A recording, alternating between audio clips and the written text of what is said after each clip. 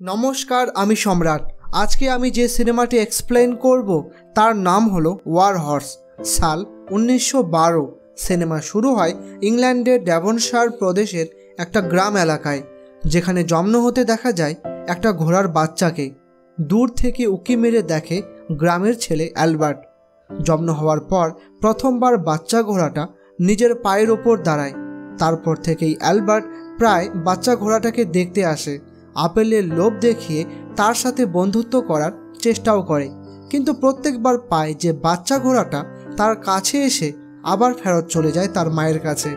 এক বছর পর সেটা প্রায় যুবক হতেই একদিন ঘোড়ার মালিক তাকে তার মায়ের থেকে আলাদা করে আর গ্রামের নিলামিতে তোলে, যেখানে গ্রামের বড় লোকেরা টাকার বলি লাগিয়ে ঘোড়া কেনে। প্রথম দেখাতেই টেট ন্যারাকটের খুব পছন্দ হয় এই ঘোড়াটা।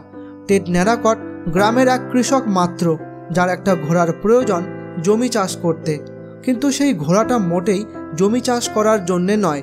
তা সত্ত্বেও টেড বোকার মতো ল্যান্ডলর্ড লায়ন্সের সাথে রেশারেশিতে বিড হাই করে আর শেষে চড়া দামে ঘোড়াটাকে কেনে।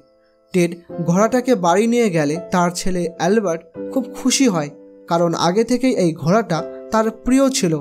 কিন্তু তার স্ত্রী তার উপর খুব রেগে যায়। প্রথমত, সেটা একটা শৌখিন ঘোড়া। জমি চাষের জন্য একদমই উপযুক্ত নয়।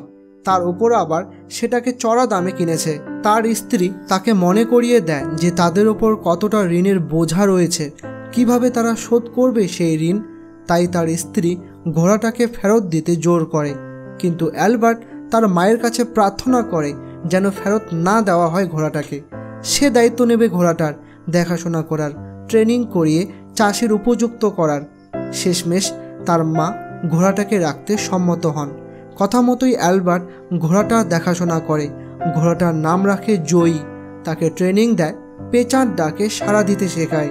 অ্যালবার্ট যেখানেই থাকুক না কেন, পেঁচার ডাক আওয়াজ করলে জয়ী ছুটে যায় তার কাছে। কিছুদিনের মধ্যেই তাদের মধ্যে ভালো বন্ধুত্ব গড়ে ওঠে। তারা একসাথে খোলা মাঠে ঘুরে বেড়ায়। কেউ একে অপরকে ছেড়ে থাকতে পারে না। হঠাৎ একদিন তাদের বাড়ি ল্যান্ডলর্ড লায়ন্স আসে। তার দেওয়া ধারের টাকা আনতে। টেড, ফসল ওঠা পর্যন্ত সময় চায়। লায়ন্স হুমকি দেয়, যদি তারা সময় মতো টাকাটা না চুকায়, তবে সে তাদের ঘোড়াটাকে তুলে নিয়ে চলে যাবে এতে অ্যালবার্টের টনক নড়ে, কারণ সে কোনো মতেই ঘোড়াটাকে খোয়াতে চায় না। তাই ফসল বুনতে সে পাথরযুক্ত একটা এবড়ো খেবড়ো জমি চাষ করতে তৎপর হয়। অ্যালবার্ট জয়ীকে তথা তার ঘোড়াটাকে প্রস্তুত করে চাষ করতে। কিন্তু জমিটা এত শক্ত যে কোনো মতেই চাষ করা সম্ভব হচ্ছে না। এটা দেখতে পুরো গ্রামবাসী ভিড় করে। ভাগ্যিস, হঠাৎ জোরালো বৃষ্টি নামলে মাটিটা নরম হয়। তারপর আবার খুব সহজেই জমিটা চাষ করা যায়। অ্যালবার্ট ও জয়ী দুই প্রাণী প্রাণপণ দিয়ে পুরো জমিটাকে চেষে কমপ্লিট করে। অ্যালবার্ট তার বাবার উপর খানিক রেগে থাকে। তার বাবা সব সময় মদের নেশায় আসক্ত থাকে বলে। তার মা তাকে প্রথমবার বলে যে তার বাবা এক প্রাক্তন আর্মি সার্জেন্ট, অর্থাৎ ইংল্যান্ড সেনাবাহিনীতে যুক্ত ছিল। উনিশশো দুয়ে আফ্রিকায় বইয়ের যুদ্ধ লড়েছে। যুদ্ধের মারকাট তার বাবাকে মানসিক পীড়া দিয়েছে। সেই কষ্ট কমাতে টেট নেরাকট নেশা করে। এরপর সব কিছু ঠিকই চলছিল। তাদের ফসল ভালোই হয়েছিল। কিন্তু একদিন জোরালো বৃষ্টিতে সব লণ্ডভণ্ড হয়ে যায়। তাদের ক্ষেত পুরোপুরি নষ্ট। এবার কীভাবে সেই দেনা শোধ করবে তা নিয়ে ঘোর চিন্তায় পড়ে টেড ন্যারাকট। ইতিমধ্যে আবার প্রথম বিশ্বযুদ্ধের ঘোষণা হয়ে যায়। গ্রামের ছেলেরা দলে দলে সৈন্যতে ভর্তি হচ্ছে। টেড ন্যারাকট দেনার দায়ে বাধ্য হয়ে শেষমেশ জয়ীকে ইংল্যান্ড আর্মির কাছে বেঁচে দেয়। জয়ীকে এখন নিয়ে যাওয়া হবে যুদ্ধে। কিছুক্ষণ পর অ্যালবার্ট তা জানতে পারলে দৌড়ে এসে জয়ীকে নিয়ে যেতে বাধা দেয়। তার আবদার যেন জয়ীকে তার থেকে আলাদা না করা হয়। জয়ীকে যুদ্ধে নিয়ে গেলে সেও যাবে তার সাথে। ইংল্যান্ড বাহিনীতে ভলেন্টিয়ার হিসেবে কাজ করবে, কিন্তু তার বয়স যথেষ্ট নয় বলে সে তা পারবে না। আর্মি ক্যাপ্টেন নিকোলস অ্যালবার্টের কষ্ট বুঝে তাকে আশ্বাস দেন যে তিনি নিজেই জয়ী খেয়াল রাখবেন। আর যদি পারেন, তবে তিনি একদিন ঠিক জয়ীকে ফেরত দিয়ে যাবেন। এরপর খুব জোর করেই জয়ীকে অ্যালবার্টের থেকে আলাদা করা হয়। জয়ীকে নিয়ে যাওয়া হয় ক্যাভেলরি তথা অশ্বারোহী বাহিনীতে, যেখানে জয়ীর সাথে বন্ধুত্ব হয় মেজর স্টুয়ার্টের ঘোড়া টপ থর্নের সাথে। টপ সেখানকার সবচেয়ে দ্রুত ও এক বলিষ্ঠ ঘোড়া। এই জন্যে মেজর স্টুয়ার্ট গর্ববোধ করে তার টপ টপথনকে নিয়ে। কিন্তু যুদ্ধ অভ্যাসের সময় ক্যাপ্টেন নিকোলসের জয়ী মেজর স্টুয়ার্টের টপথনকে রেসে হারিয়ে দিয়ে সবাইকে খানিক চমকে দেয়। জয়ী যে সত্যি একটা স্পেশাল ঘোড়া তাতে আর কারও সন্দেহ থাকে না। এরপর ইংল্যান্ড অশ্বারোহী বাহিনী ফ্রান্স পৌঁছায়। তাদের থেকেও দ্বিগুণ সংখ্যার জার্মান বাহিনীর ওপর হঠাৎ অ্যাটাক করে দেয়। শত শত ইংলিশ ঘোড়া আছড়ে পড়ে জার্মান ক্যাম্পে। জার্মান বাহিনীকে ছত্রভঙ্গ হতে দেখা যায়। ইংল্যান্ড সৈন্যরা ঘোড়ায় বসে তরোয়াল হাতে এক এক করে জার্মান সেনাদের কাটতে থাকে, কিন্তু অন্তিমে বাজি পাল্টে যায়। কারণ ক্যাম্পের পেছনে ঝাড়ের মধ্যে রাখা সারি সারি মেশিন গান দিয়ে জার্মান বাহিনী দ্রুত রাউন্ড ফায়ার করলে তরোয়াল হাতে ইংরেজ সেনা কাবু হয়ে পড়ে। সেকেন্ডের মধ্যে সমস্ত ইংরেজ সেনা ঢের হয়ে পড়ে থাকে। জার্মান এই লড়াই জয়ী হয়। ভাগ্যক্রমে আবার জয়ী আর টপথন ঘোড়া দুটো বেঁচে যায়, কিন্তু জার্মানরা ঘোড়াগুলোকে তাদের কবজায় নেয়। এবার এই দুই ঘোড়ার দায়িত্ব নেয় জার্মান কমবয়সী সৈনিক দুই ভাই গান্টার ও মাইকেল। এরপর জার্মান শিবিরকে দেখানো হয়, যেখানে গান্টার ও মাইকেল দুই ভাই ঘোড়া দুটোর দেখাশোনা করে। একদিন হঠাৎ জার্মান কমান্ডার এসে গান্টার বাদে বাকি সবাইকে মার্চ করতে করতে ফ্রন্টে নিয়ে চলে যুদ্ধ করতে। গান্টার তার ভাইকে নিষেধ করে যুদ্ধে যেতে, কারণ তার ভাইয়ের বয়স শুধুমাত্র চোদ্দ। কিন্তু তবু মাইকেল যায় যুদ্ধে। তাই অর্ধেক পথেই চলন্ত ঘোড়া থেকে গানটার তার ভাইকে তুলে নেয়। ঘোড়া দুটো আর তার ভাইকে নিয়ে চলে একটা অপরিচিত জায়গায়, একটা উইন্ড মেলে রাত্রিটা তারা সেখানেই আস্তানা গাড়ে, কিন্তু মধ্যরাত্রিতেই জার্মান সেনা তাদের ফলো করে ঠিক সেখানে পৌঁছে যায়। তাদের দু ভাইকে উইন্ডমিল থেকে বের করে আনে আর তাদের মৃত্যুদণ্ড দেয়। পরের দিন সকালে সেই উইন্ড উইন্ডমিলে এমিলি নামে একটি ছোট্ট মেয়ের চোখে পড়ে সেই ঘোড়া দুটো। ঘোড়া দুটোকে পেয়ে সে খুব খুশি। সময় মতো ঘোড়াগুলোকে খাবার দেয়। এই মেয়েটা এখানে তার ঠাকুরদার সাথে থাকে। তার মা বাবার যুদ্ধে আগেই মারা গেছে। মেয়েটা ঘোড়া দুটোর সাথে কিছুদিন খুব ভালো সময় কাটায়, একসাথে খেলা করে। সে নিজের মতো তাদের নামও রাখে। একদিন সেখানে জার্মান সেনা চলে আসে। তাদের সমস্ত ফসল ও খাবার লুট করে নিয়ে চলে যায়। এমিলি চালাকি করে ঘোড়া দুটোকে ঘরের মধ্যে লুকিয়ে রাখে। ফলে প্রথমবার জার্মান সেনা ঘোড়া দুটোকে দেখতে পায় না।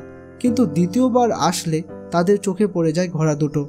আর কি, জার্মান সেনা জোর করে এমিলির কাছ থেকে ঘোড়াগুলো ছিনিয়ে নেয়।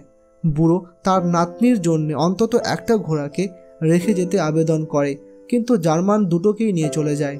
এতে এমিলি দুঃখে কাঁদে। এর পরে সিনে দেখি নিষ্ঠুর জার্মান ঘোড়াদের উপর নির্মম অত্যাচার করে। ভারী ভারী অস্ত্র ঘোড়াদের দিয়ে টানায়। যদি কোনো ঘোড়া ক্লান্ত হয়ে মাটিতে লুটিয়ে পড়ে, তো তৎক্ষণাৎ সেখানেই সেই ঘোড়াটাকে গুলি করে মেরে ফেলে। সেখানে জার্মান এক দয়ালু সৈন্য ছিল, নাম তার হাইগেলম্যান। সে যতটা পারত, এই দুটো ঘোড়ার যত্ন নিত, আড়াল করে রাখত, যেন তাদের দিয়ে বেশি কাজ না করানো হয়। জার্মান পক্ষ বিশাল বিশাল আর্টিলারি কামান দিয়ে পাহাড়ের চূড়া থেকে নিচে ইংল্যান্ড শিবিরে ভারী ভারী বিস্ফোরক গোলাবম ফেলে। এতে ইংল্যান্ড পরীক্ষা থরথর করে কেঁপে ওঠে। তারপরে সিনে দেখানো হয়, কয়েক বছর পর ইংল্যান্ড সৈন্যতে যোগদান করেছে টেট ন্যারাকটের ছেলে অ্যালবার্ট। সে বিশেষ করে তার ঘোড়া জয়ীকে খুঁজতে এসেছে। তার দৃঢ় বিশ্বাস যে জয়ী এখনও বেঁচে আছে। অ্যালবার্ট খুব সাহসের সাথে যুদ্ধ লড়ে। লড়াইয়ে জার্মানদের হারাতে সফল হয়, কিন্তু শত্রুর ফাঁদে পড়ে গিয়ে কেমিক্যাল গ্যাসের শিকার হয়। মারা যায় না, কেবল অন্ধ হয়ে যায়। তার চিকিৎসা চলে মেডিকেল ক্যাম্পে। অন্যদিকে জার্মান শিবিরে দীর্ঘদিন ধরে ঘোড়াদের ওপর হওয়া অত্যাচারে শেষমেশ টপথন ঘোড়াটি ক্লান্ত হয়ে মাটিতে পড়ে মারা যায়। এতে জয়ী ও হাইগেলম্যান দুজনেই শোকা হতো হঠাৎ জার্মানদের উপর আক্রমণ হলে জার্মান সৈনিকরা ঘোড়াদের ছেড়ে দেয় ছুট। হাইগেলম্যান সেখান থেকে চলে যাওয়ার আগে জয়ীকে রান রান বলে পালাতে বলে। জয়ী প্রথমবার জার্মানের থেকে মুক্তি পেয়ে দেয় আন্ধাধুন এক ছুট। ভাগতে ভাগতে এসে পৌঁছায় ইংল্যান্ড ও জার্মান লাইনের মধ্যখানে নোম্যান্স ল্যান্ডে সেখানে জয়ী কাঁটা তারজালের বেড়ায় জড়িয়ে পড়ে, আটকে যায় আর ব্যথায় কাতরাতে থাকে। দুই পক্ষ থেকে সৈন্যরা উকি মেরে দেখে ঘোড়াটাকে, কিন্তু কারও সাহস হয় না সেখানে গিয়ে ঘোড়াটাকে উদ্ধার করার। শেষমেশ এক ইংল্যান্ড সেনা সাহস করে রুমালটাকে যুদ্ধবিরতির প্রতীক বানিয়ে সামনে এগোয়। সেখানে গিয়ে দেখে যে ঘোড়াটা খুব খারাপভাবে কাঁটা তারে জড়িয়ে গেছে। ঘোড়াটাকে ছাড়াতে একটা ওয়ার কাটার প্রয়োজন। ঠিক তখনই এক জার্মান সেনা ওয়ার কাটার নিয়ে হাজির হয় আর দুজন মিলে খুব সাবধানে ঘোড়াটাকে কাটা তারজালি থেকে মুক্ত করে। তাদের দুজনের মধ্যে সমস্যা দাঁড়ায় এখন যে কে ঘোড়াটাকে সঙ্গে নিয়ে যাবে। ইংল্যান্ড সৈন্য বলে, ঘোড়ার জাত ইংল্যান্ডের, তাই সে নিয়ে যাবে। আর জার্মান সেনা বলে, ওয়ার কাটার সাপ্লাই দিয়েছে সে, তাই সে নিয়ে যাবে। তারপর তারা ঠিক করে যে কোয়েন টস দ্বারা নির্ণয় করা হোক। আর কোয়েন টসে ইংল্যান্ড সৈন্য জিতে যায়। ইংল্যান্ড সৈন্য জার্মান সেনার সাথে বন্ধুত্বপূর্ণভাবে হ্যান্ডশেক করে আর বিদায় জানিয়ে ঘোড়াটাকে সঙ্গে নিয়ে ইংল্যান্ড শিবিরে ফিরে আসে। কিন্তু ডাক্তার ঘোড়াটার ক্ষত ঘা দেখে চিকিৎসা করতে মানা করে দেয়। ডাক্তার এইভাবেই যে কোনো ঘোড়ার চিকিৎসা করবে না। নির্দেশ দেন, এখনই এই ঘোড়াটাকে গুলি করে মেরে ফেলার। সার্জেন্ট এসে বন্দুক বের করে। ঘোড়াটার উদ্দেশ্যে গুলি ফায়ার করবে। ইতিমধ্যে আবার এসব হট্টগোলের আওয়াজ কানে যায় অ্যালবার্টের। চোখে পট্টি লাগানো অবস্থায় সে শুধু শুনতে পায়, একটা ঘোড়াকে নিয়ে ঝামেলা চলছে। অ্যালবার্ট ওই পেঁচার ডাক আওয়াজ করে, যা দিয়ে সে জয়ীকে ডাকত। আওয়াজ শুনে ঠিক সেই ঘোড়াটা দৌড়ে যায় অ্যালবার্টের কাছে। অ্যালবার্ট তাদের সবাইকে বুঝিয়ে বলে যে এই ঘোড়াটা কোনো র্যান্ডম ঘোড়া নয়। সে এটাকে যুদ্ধের আগে নিজের হাতে লালন পালন করেছে। কিন্তু তবু ডাক্তার বিশ্বাস করেন না। এর প্রমাণে অ্যালবার্ট অন্ধ অবস্থায় ঘোড়াটার সম্পূর্ণ বিবরণ দেয়, যেমন ঘোড়াটা বাদামি বর্ণের, কিন্তু চারটে পায়ের গোড়ালি সাদা বর্ণের, আর কপালে একটা সাদা মার্ক রয়েছে। ঘোড়াটাকে পরিষ্কার করলে বোঝা যায় যে অ্যালবার্ট ঠিকই বলেছে, সে যেমনটা বিবরণ দিয়েছে হুবহু তেমনই ঘোড়াটা, আর ফাইনালি ঘোড়াটাকে মেরে ফেলা হয় না। প্রায় চার বছর পর শেষমেশ জয়ীর সাথে সাক্ষাৎ হয় অ্যালবার্টের। কিছুদিন পরেই আবার এই বিশ্বযুদ্ধের সমাপ্ত হয়। এখন শুধু বাড়ি ফেরার পালা। অ্যালবার্টের চোখ ঠিক হয়ে যায়, সে আবার দেখতে পায়। অ্যালবার্ট জানতে পারে সে নিজের ইচ্ছে মতো তার ঘোড়াটাকে নিয়ে যেতে পারবে না। জয়ী হলো সরকারি প্রপার্টি তাকে নিতে হলে নিলামিতে বিট করে জিততে হবে। কিন্তু তার কাছে অত টাকা নেই। এতে তার সহযোগীরা চাঁদা কালেকশন করে, তাকে অর্থ সাহায্য করে। এমনকি সার্জেন্ট তার হয়ে নিলামিতে বিট করে। সিনেমার প্রথমের মতো এবারেও বিড হাই হয়। জয়ীর মতো একটা বলিষ্ঠ ও বুদ্ধিমান ঘোড়া নেওয়ার ইচ্ছা সবারই। শেষমেশ বিড এত হাই হয় যে একশো পাউন্ডে পৌঁছে যায়। যা দেওয়ার মতো সমর্থ অ্যালবার্টের ছিল না। শেষমেশ একশো পাউন্ড উচ্চ দামে ওই বুড়ো জয়ীকে কেনে, যার নাতনির নাম ছিল এমিলি। এমিলি অসুস্থ হয়ে কিছুদিন হলো মারা গেছে। তার সবথেকে প্রিয় জিনিস ছিল এই ঘোড়াটা। তাই বৃদ্ধ মাত্রাধিক একশো পাউন্ডে এই ঘোড়াটা কিনল তার নাতনির স্মৃতিতে। কিন্তু বুড়ো যখন জানতে পারল যে এই ঘোড়াটা তার থেকে বেশি অ্যালবার্টের দিকে আকৃষ্ট হচ্ছে, তাকে ছেড়ে ঘোড়াটা কোনো মতেই বুড়োর সাথে যেতে চাচ্ছে না। বুঝতে পেরে বুড়ো শেষমেশ ঘোড়াটা অ্যালবার্টকেই দান করে দিয়ে চলে যায়। ফাইনালি অ্যালবার্ট জয়ীকে সঙ্গে নিয়ে বাড়ি ফেরে। তার মা বাবা খুব খুশি। আর এই ফিল্ম এখানেই সমাপ্ত হয়।